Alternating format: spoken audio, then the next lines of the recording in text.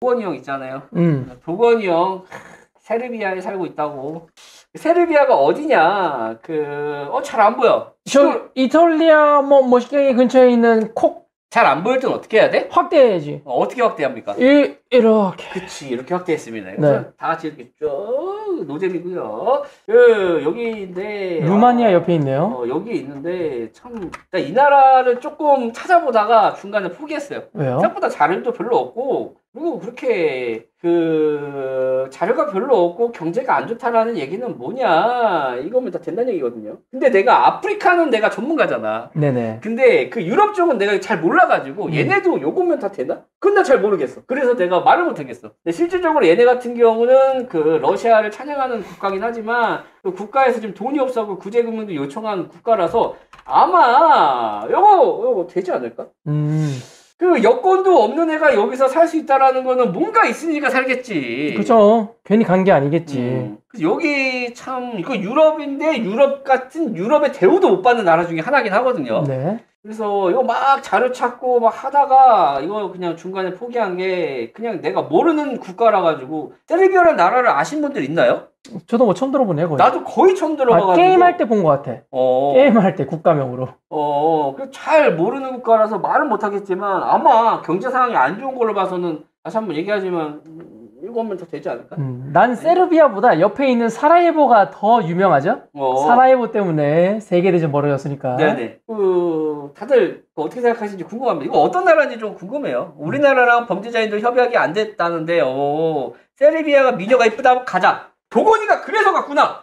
왜? 똑똑한 친구야. 그리고 똑똑한 기본적으로 친구. 기본적으로 이렇게 내륙에 있잖아요. 바다가 없잖아요. 가난할 수밖에 없어요. 그렇죠. 어, 세르비아 좀 아시는 분들 있나요? 아시는 분들 있으면 채팅 한번 보시면 올려주세요. 음.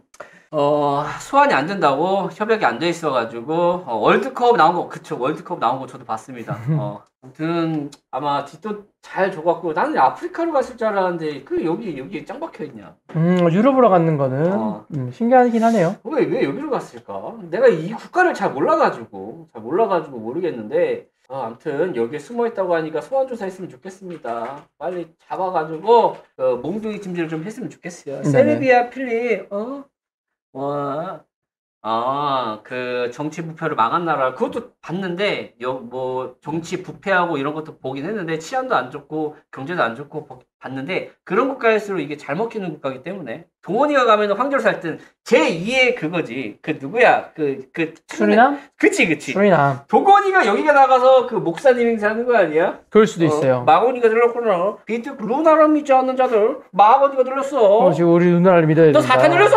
음, 누나 사... 루나를 무시해? UST 안너 샀어? 들렸어? 어허. 어, 그 비엔나 소시지 좀 갖고 와봐라. 구워 먹게. 비엔나는 왜? 어, 그 수리남에서 마지막에 비엔나 구워 먹거든. 아 맞다 마, 마지막 장면이 그거였지. 그거 어, 하다가 소시지 갑자기 구워 먹거든. 그 다음에 헬기가 왔지. 그치. 도건이가 앉아가지고 너 사탄 들렸어? 그쵸 그쵸. 소시지 갖고 와! 이러고 있을까? 개, 아, 나쁜 사람이라고 말씀드리고 싶네요. 네. 자, 이제 아직 아직 뉴스 한번 보도록 할게요. 가져오도록 하겠습니다. 네네.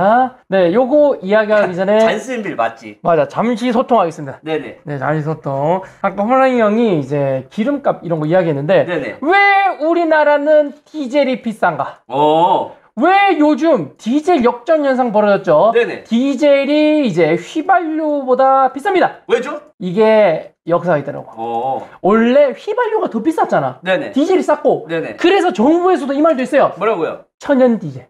음, 여러분들 디젤 사 디젤 차 사세요 하면서 디젤 보조금까지 줬잖아. 네네. 그런데 왜 정신 차려 보니까 정부 믿고 디젤 차 샀더니 디젤이 비싸네? 음, 왜 이런 사건이 벌어졌는지 아, 잠시 소통으로 알려드리도록 하겠습니다. 네네. 디젤이랑 휘발유랑 원래 원래부터 가격이 비슷했어요. 음, 전 세계적인 시장에서 이제 오일 시장에서 경매를 할 때 디젤과 휘발유가 거의 뭐 비슷한 단가로 거래가 됩니다. 그런데 왜 우리나라에서는 옛날에 휘발유가 더 비쌌느냐? 네네. 휘발유를 고급으로 어, 고급으로 봐가지고 여기다가 세금을 엄청나게 붙였습니다. 아, 옥탄가 이런 것들 많이 집어넣구나, 고급적으로. 승용차들이 많이 이용을 하니까. 휘발유가 옛날에 그 우리가 그 그때 그 시절 그 뭐죠? 그 1990년대 차. 어, 그 씨발차 다음 차. 폰이? 어, 그렇지. 포니. 포니 그 시절. 그 시절 때 시발차 아니야, 시발차야. 시발 발음 조심하셔야 됩니다. 알겠습니다. 어, 그 폰이 있던 그 시절 휘발유를 꽂으면 야, 이 차 고급차다. 어, 디젤이 아니라 어디서 휘발유를 꼽아 하면서 이 휘발유가 네네. 고급유라고 그때부터 생각을 해가지고 음. 여기에 이미 세금이 많이 붙었습니다. 그래서 애초에 세금이 높았는데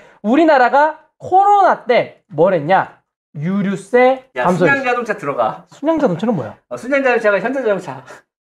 그 드라마 아 그래요? 어. 어, 그렇구나. 아닌가? 모르겠네. 음, 하여튼 유류세를 엄청나게 감면해줬죠. 네네. 우리의 디젤은 세금이 얼마 없었어요. 네네. 하지만 휘발유는 세금이 엄청 많았죠. 네네. 그래서 유류세 감면을 엄청 많이 받아서 이제 가격이 비슷해진 것도 있습니다. 하지만 여기서 세계 정세가 하나 더 들어가요. 음. 아까 호랑이 형이 가스 밸브 이야기했죠. 가스. 네네. 우리 유럽이 춥대. 추우면 뭐 한다? 가스 보일러.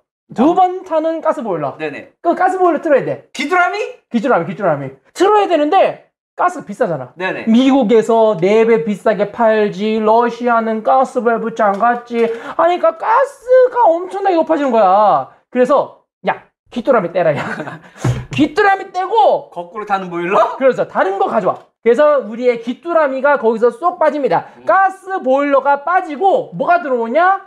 디젤, 디젤 같은 이제 대체 기름을 쓰는 보일러가 들어옵니다. 네네. 그래서 요즘 우리 유럽 친구들 추우니까 뭘 태운다? 디젤. 디젤 태웁니다. 와, 그 디젤로 방을 뜨뜻하게 만들고 있는 게 우리 유럽이다. 그러니까 디젤을 많이 소비하는 국가가 생겼고 네네. 그리고 애초에 세금이 많이 안 붙어 있었던 디젤은 유류세 감면 효과도 못 받다 보니 음. 요즘엔 디젤이 더 비싸졌다. 음. 라는 잠시 소통 내용이었습니다. 뭐 알겠습니다. 이래서 디젤이 비싸.